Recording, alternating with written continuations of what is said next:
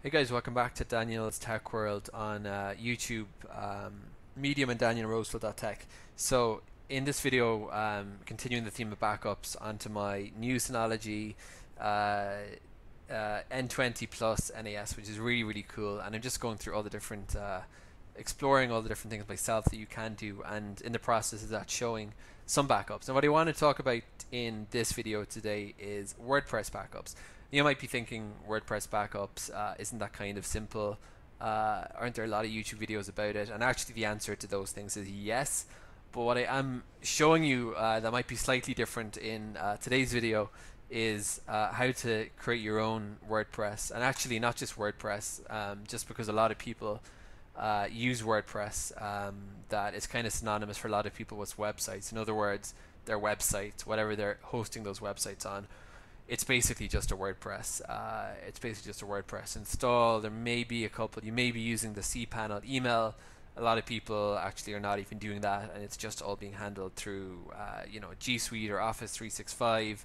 So there's nothing up there except WordPress. But there are people that do have other things on their web hosting. It's a shared in a shared web hosting environment, and um, what I'm going to show you in this in this method, I think that the WordPress backup plugins, and uh, you know there are definitely a few of them. Uh, there's Updraft Plus, which is excellent.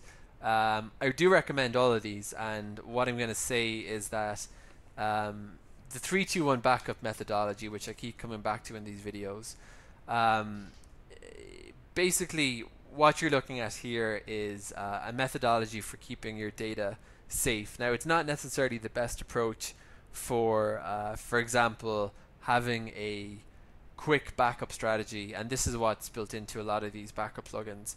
There, I've discussed on previous videos the difference between full backups, incremental backups, and differential backups. And basically, in an incremental backup strategy, every time you back up, you're just backing up from the last incremental backup. That means that the backups are the backup files are light, the backup the backups run quickly because not very much. It's only looking at what's changed but you need this whole big succession of uh, backups uh, in the event that, for example, you're you were starting from scratch somewhere on a new host. So it's great that if you're using a WordPress site and you want to roll back changes that were made two or three days ago and uh, muck something up, and you don't want to go through the whole troubleshooting process. You want you know you didn't change the site for two days, just roll back to a um, an incremental backup and uh, restore from that. So that's perfect. The kind of scenario I'm looking at in these in this approach is more um, concerned with people that want to have a copy of their own data for backup purposes because you don't want to trust your data ever to somebody on the cloud, a third party, and most hosting co- most hosting companies are they are they backing up your data? Yes, but is it your? It's ultimately your responsibility, and uh, it's just prudent to have your own data not to put your faith in the in the hosting company. There have been cases of hosting companies that have lost users' data, and if that happens, even if your host offers a backup service and it may be a lovely backup service, it may not actually be 321. Uh, it won't be 321 compliant probably, uh, but it may not even even you know meet the first criteria of that because it could all just be running little incremental snapshots on the server. So 321 kind of takes things, I guess you could say, to the next level uh, used a lot in sort of enterprise backup planning. Uh, basically, you have three copies of all critical data, business critical data, mission critical data. And in the case of that WordPress site, let's say that ho- that's hosting your e-commerce website, that's one. That's the primary data source, and uh, 321 calls for two, maintaining two copies of uh, of that data. Now, the backup backed up data needs needs to be on two different storage types, right? So we have two backups, and let's split up again here. And we're going to say that these each need to be on a different type of storage media. So remember when I said that even if you have a host that has a backup functionality, and many have very nice ones built in, so you might be you might be a bit confused, wondering, there's a WordPress backup plugins. My host gives me this backup. You, like, what are you telling me that I need a third one? So I'm not I'm not telling you that. I'm just I'm just pointing out why you may still want to do your own backup approach, even in light of the above and that's because um, you may just be getting one uh, one backup uh, through your host, and it may not be even on different storage media. by which I mean that that backup, one of these tools that run on the server, could just be backing up to the server that your um, that your website's host on. So that's actually on the same storage media, even though let's get technical for a second. Your host is you know running a professional data center with RAID, um, which means that if they have disk failure of some type, that they're, they're not going to lose your data. Um, they're you know that's the whole idea behind RAID. Um, but it's still it's still redundancy is not equal to backups and uh, if the data is lost or something and you wanted to go back to or you want to roll back to a previous point or recover the data from a previous point uh, you still can't rely on that basically finally you want to have one thing offsite so if you're we're talking about wordpress backups here so clearly um, unless you're hosting that wordpress site on a server on premises in your own house then it's already the primary data source is offsite, but that's still under the 321 rule. Uh, we still need even if even if our primary data source is offsite, we still need to create a backup with another offsite data source. And using uh, Synology's uh, NAS and its wonderful cloud sync technology, we're and uh, I forgot to mention Backblaze B2. Uh, we're going to be pushing pushing that uh, the backup that we take up to offsite. So that's going to give us our 321 compliant backup strategy. Now, uh, in order to get to get the show started and taking a backup, um, I am going to just quickly log into my hosting over here um, and just show you. Now this is based on uh, this is this really this whole kind of um, I don't like calling these tutorials, but demonstration is applicable if you're a shared hosting customer. If you're doing something like, you know, Wix or one of these all-you-can-one builders, and you pro- you probably don't even have a cPanel. I don't use Wix or all you can. I keep saying all you can all you can eat. Uh, you know these kind of click and point uh, building tools, but um, uh, if you're on if you're doing something a little bit more custom and you're you have a WordPress site on a typical shared hosting environment, then you are probably going to have a cPanel. And uh, the cPanel I'm going to open up for my shared hosting is uh, danielrosehill.tech.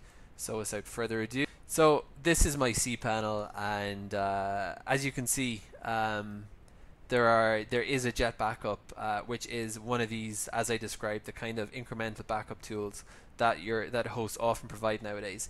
So I want to take a look at what it is. You can see it does say it has full account backups, and um, you can just tell straight away by the un, you know this would be such uh, un uh, unsustainable amount of data if these were if it was if these were 30 full backups. So it's clearly not that, and it tells you actually the type of backup is incremental. Um, so what I did um, just before starting this is I down is I requested I clicked on this generate download button and uh, just to take a look at what's going to come out of this. So I'm just going to click on that. Now pay attention to these files. You can see it's a 612 uh, megabyte archive that is being downloaded and that's the latest incremental backup.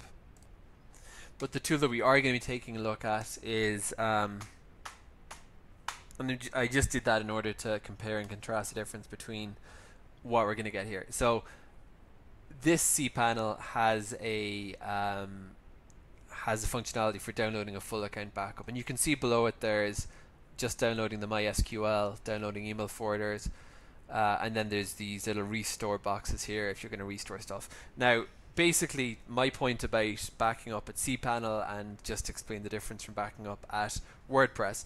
WordPress is a, uh, as most people know, it's basically a server side software. It's a piece of software that you install Nowadays, most people are installing it through something like Softaculous.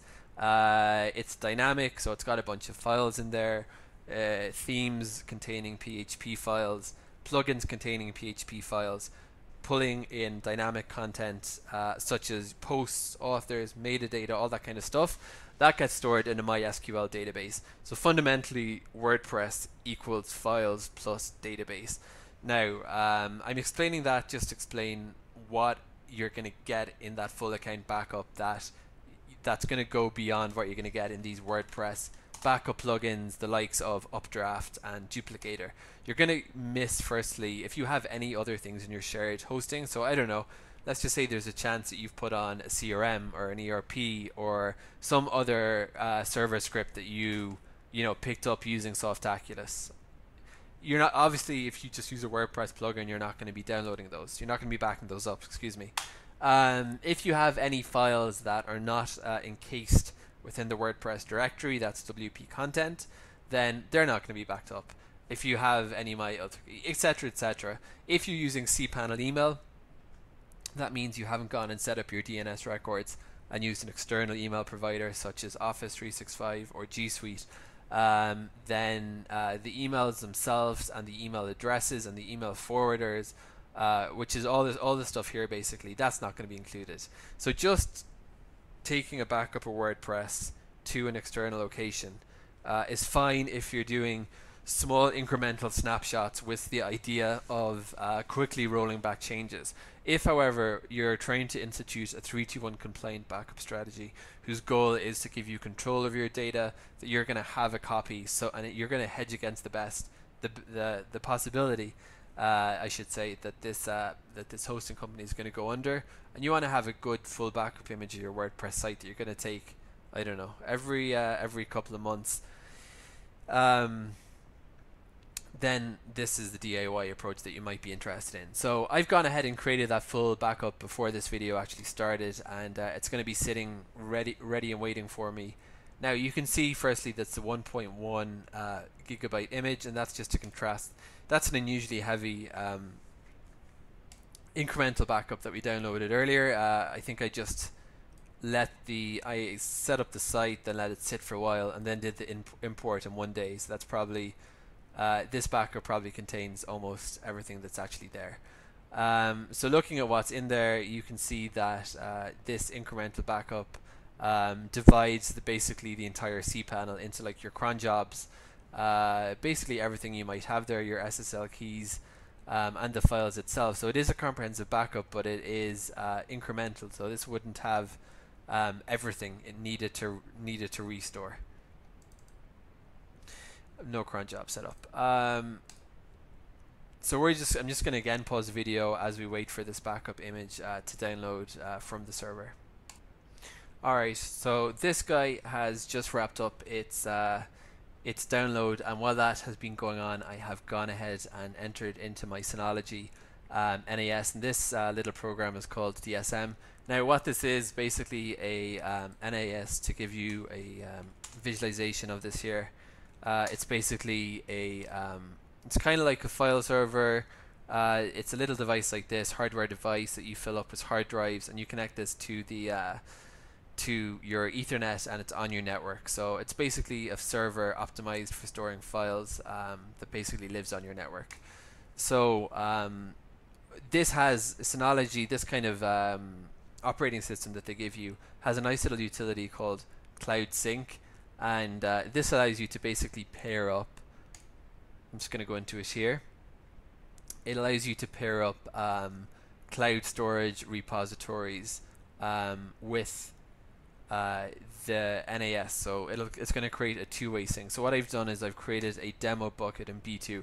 Now B2 is a uh, cloud storage that is uh, operated by Backblaze. Um, they're specialized in backups and recovery, that kind of thing. And I created a demo bucket uh, just for the purpose of this demonstration. So that's in the cloud. And if I can basically, uh, all I need to do from this point, we're almost actually finished, is to uh, get that backup, the full account backup that I just downloaded, that one gigabyte file, uh, I need to put it onto a, um, a share that I've created um, because this sync thing works between uh, a cloud and then it syncs to a share on your uh, NAS. So if I go into my settings here, uh, overview, uh, do do do do do do do. Yeah, sorry, task list, and you can see the local path is Daniel Desktop Backups. That's a local share I've set up and uh, anything I put there is going to be synced up to the B2 in the cloud. So let's just go back to 321 for a second and uh, I will use for this my trusty uh, GitHub documentation, my master backup strategy so called. Um, if you go back to 321 uh, and let's just say this Linux backup is our hosting we have uh, created. Um, it's in the cloud, and we need two more backups. We are putting one up to our offsite, and uh, we're going to, in the process, we're actually going to be firstly um, taking our on-site backup, putting that into our NAS, and then we're going this way, in fact, and then that's going to give us our uh, offsite, and that will mean that we will have, uh, if we go back to the 321 rule, we're going to have our hosting and two two existing copies, full backups um, that can be used to restore from scratch. No need; they're not differential. They're not in, they're not incremental like the WordPress backup plugins. A lot of them, and like a lot of the backup tools, the host add-on, they're full self-standing backups, which will mean that they're heavy. So we might need to uh, repeat this process periodically and uh, only keep one snapshot. But they will each snapshot will have everything we needed to restore in the event it would be required. Um, and uh, they're going to be on different storage media. This is on whatever infrastructure B2 is hosted on, and this is uh, going to be kept on my NAS at home. So two different storage media. Um, that means if B2 fails, we're gonna this is gonna be okay, and realistically B2 will not fail. But if my NAS failed, then I would have the copy on B2. Um, so what I've just done here is I have called up in the uh, this should be an interesting comparison. The guy on my left is the incremental backup that we got from the host, and the guy on the right is the uh, full backup uh, that's just finished downloading. So uh, as you can see, they actually contain, if I'm not mistaken, all the same all the same files and directories. Um, but this is um, this was the incremental backup. Um, and if you subtly compare the files as well, you notice that in the full backup, and sorry, that's the one on the left. I got, I think I may have got confused there. Um, there's things like bandwidth db.json, this file here, 146 bytes, and uh, that is not featuring in the incremental backup because this is capturing the full backup, everything that existed from the start, and this is only what changed between this and the last incremental backup. So if bandwidth db.json did not change, then it's not, then it wouldn't have been included in the in this incremental backup that Jet Backup ran for us. So jumping back into uh, Synology over here for one second. I've just popped into Daniel's demo share. That's the one that syncs as B2, verified there's nothing in it. So now I'm just going to search for that on the network. So uh, in PCMan FM, which is the default uh, file manager in uh, LXDE, which is really not so much in use anymore, in even in Linux world, it's been subsumed uh, supplanted, I should say, rather, by uh, LXQT. Uh, but this is what it looks like. You can go to go to network, and um, I can click on. Um, it'll identify identify straight away the NAS, the Synology NAS on the network, and then what I need to do to connect with it is give it my credentials. So I'm just going to do that quickly and then log in. That's been done, and uh, immediately you can see all the uh, shares I've created have shown up, including Daniel demo share. So that's really it, and you can see now um, it's using AFP. And the nice thing about this PCMan FF, uh, F, PCMan FM, is that uh, you can see it makes it very easy to see the protocol that the file manager is connecting from.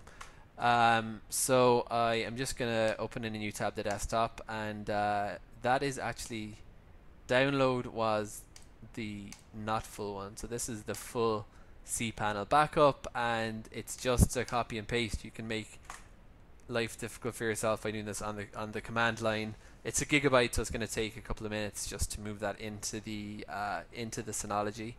And what's going to happen then? And uh, I'm going to pause the video here, and uh, because syncing that up to the cloud is going to take a while, this will then sync up to uh, B2 uh, automatically. And uh, once it's in B2, then it's going to be, and this will run as soon as as soon as this finishes. This reaches 100%. This is showing that all my clouds are currently in sync. Um, but when this hits 100%, this guy is going to start going, and uh, we'll be able to watch as it moves up to the cloud. Okay, the big moment's about to occur. It's just reached 100% our ticker. So um, if we do a refresh in Daniel's demo share, I'm now looking at the, if I can look in the, the folder in uh, PCMan FM, I can see that it's in there. And this is a view uh, from, ah, I can do a refresh here. And there we go. We can see that the backup um, has been loaded here. Now this guy, the Cloud Sync, is about to start moving, hopefully. So let's just check that.